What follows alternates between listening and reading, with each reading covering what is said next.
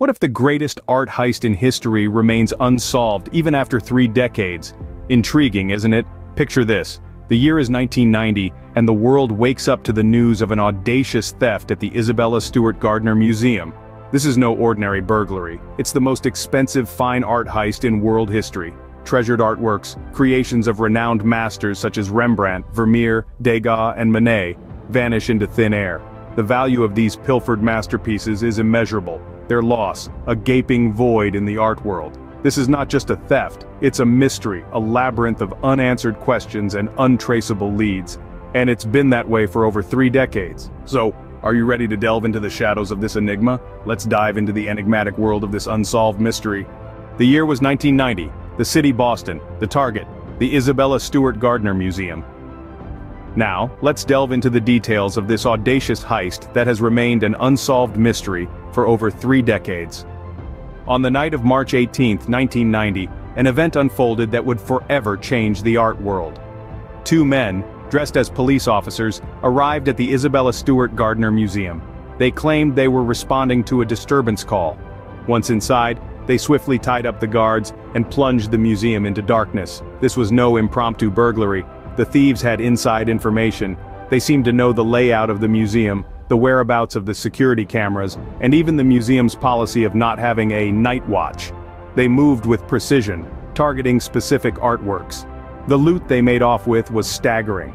13 artworks including masterpieces by revered artists like Rembrandt, Vermeer, Degas and Manet were stripped from their frames. The thieves even took the time to unscrew two ancient Chinese vases and a Napoleonic finial from their display cases.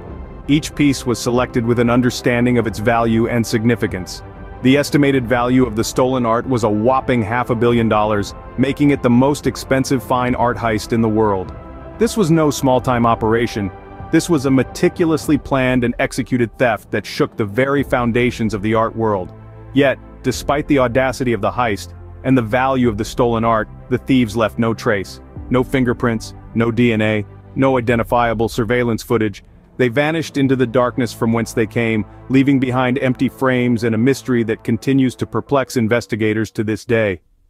By the time the sun rose, 13 masterpieces were missing, leaving the art world in shock and disbelief. The question on everyone's lips was, who could have pulled off such a daring heist? And more importantly, where were the stolen masterpieces now? As the dust settled, the question remained, who could have pulled off such a daring heist? The FBI swung into action almost immediately, launching an investigation that would span several decades. The audacity and precision of the thieves suggested they had inside information, which opened up a plethora of possibilities. Was it an inside job, or perhaps the work of a sophisticated crime syndicate?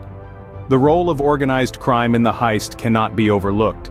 During the 80s and 90s the art market became a veritable playground for the underworld, with stolen artworks used as collateral in illicit deals. Was the Isabella Stewart Gardner Museum heist another chapter in this murky underworld saga? One theory suggests that the stolen art might have been used as a get-out-of-jail-free card, Art theft, as it turns out, can be a very effective bargaining chip when negotiating with law enforcement agencies. A notorious criminal could potentially offer to return a stolen masterpiece in exchange for a reduced sentence. Then there's the theory that the stolen art might still be out there, hanging on someone's wall, its true identity masked by a clever forgery. Art forgery is a thriving industry in itself, with master forgers capable of creating work so convincing that even experts can be fooled. The most tantalizing theory of all, however, is that the stolen artworks might still be hidden somewhere, waiting to be discovered. Could they be tucked away in a forgotten attic or hidden behind a false wall just waiting for someone to stumble upon them? Of course, these are all just theories. The FBI investigation is still ongoing and while they've followed countless leads, they've yet to crack the case wide open. Despite the best efforts, the trail went cold, leaving us with more questions than answers.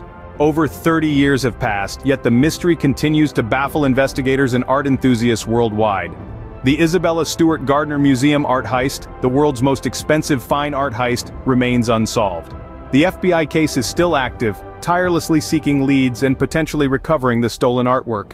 This unsolved mystery has had a profound impact on the art world, leading to heightened security measures in museums globally. The enigma has also captured the public's imagination, inspiring a Netflix docuseries titled, This is a Robbery. This series delves into the intricate details of the crime, shedding light on the puzzling elements of this historic theft. It has sparked renewed interest in the case, inviting fresh theories and speculation. The stolen art, potentially still out there, could be hanging unknowingly on someone's wall, adding another layer of intrigue to the tale. Today the empty frames still hang in the museum, a haunting reminder of the world's greatest unsolved art heist. In the end, the Gardner Museum heist remains an enigma, a puzzle waiting to be solved. This mystery with its intricate web of clues has held us captive throughout our journey. From the initial shock of the heist, the detailed account of the stolen masterpieces, through to the myriad of investigations and theories, it's clear that this is a mystery that continues to captivate the world. The docuseries This is a Robbery is an excellent starting point for those who wish to delve further into this intriguing case. It provides a thorough exploration of the case's most puzzling details and offers a fresh perspective on the world of organized crime and the art market during the 80s and 90s. For a more literary take, Stealing Rembrandt's The Untold Stories of Notorious Art Heists by Anthony A. Amore and Tom Mashberg offers a deep dive into the murky world of art theft. It is a must-read for mystery enthusiasts. And let's not forget, Time magazine's list of the 100 best mystery and thriller books of all time. It's a treasure trove for those who love a good whodunit. As we bid adieu, remember, the stolen art may still be out there, waiting to be discovered. Until next time, keep unraveling the mysteries of the world. Thank you for joining us on this journey into the world of unsolved mysteries. We hope this exploration into the enigmatic Gardner Museum heist has sparked your curiosity and deepened your appreciation for the intriguing world of art and crime. If you enjoyed this video, please give it a thumbs up. Your support allows us to continue bringing you fascinating stories from the hidden corners of the world. Don't forget to subscribe to our channel for more intriguing tales. We have a trove of unsolved mysteries waiting to be unveiled. As we draw to a close, we encourage you to keep this spirit of exploration alive. Whether it's delving into a docuseries, diving into an engrossing book, or simply embarking on your own investigation, never lose your curiosity. Remember, every mystery is a door waiting to be opened, Every question, a journey waiting to be undertaken. Stay curious, keep exploring, and we'll see you in the next video.